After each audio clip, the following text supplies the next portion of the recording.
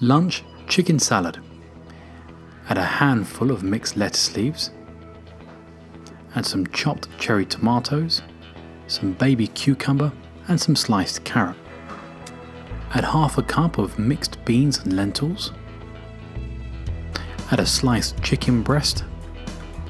If you fancy, add some pink slaw on the side, which you can buy from most supermarkets. Add the balsamic vinegar mix on top and enjoy.